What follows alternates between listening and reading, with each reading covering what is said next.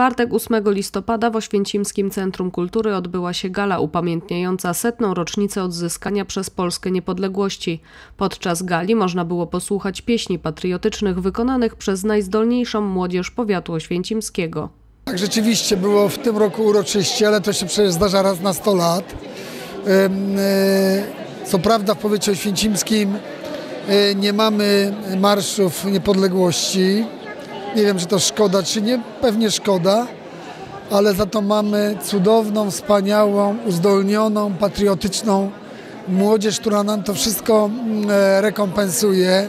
Cieszę się, że mm, e, ta kontynuacja tej inicjatywy sprzed paru lat e, no, ma finał stulecie niepodległości. To dla mnie osobiście spore przeżycie, zwłaszcza, że z tymi, którzy na scenie dzisiaj występowali, no, jestem od dłuższego czasu już związany.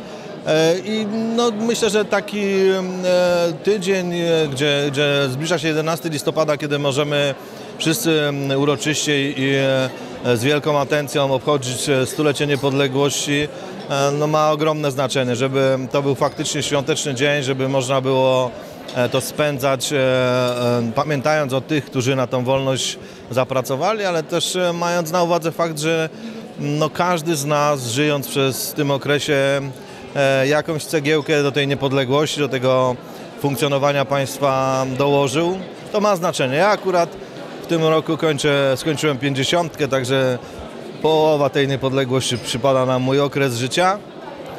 I cieszę się, że, że przynajmniej przez te ostatnie 25 lat miałem okazję popracować na, na rzecz innych i, i z innymi co sobie ogromnie cenię. Także dla mnie to, to podwójnie istotne, bo 50 w życiu to, to taki niezły wynik, ale, ale też stulecie niepodległości to, to myślę, że coś, co przejdzie do historii, będziemy przez wiele lat pamiętać i, i myślę, że spowoduje to przede wszystkim jeszcze większe zaangażowanie w to, aby tą wolność niepodległość utrzymać. Gala była także okazją do rozstrzygnięcia konkursów między innymi piątego ogólnopolskiego konkursu fotograficznego pod tytułem Moje miejsce na ziemi, drugiego powiatowego konkursu pieśni patriotycznej oraz konkursu na krótką formę multimedialną Niepodległa 1918-2018.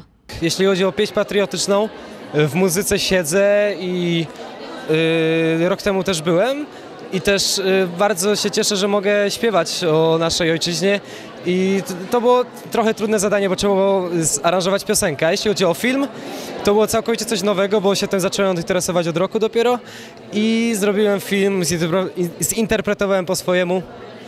Y, jestem z niego zadowolony.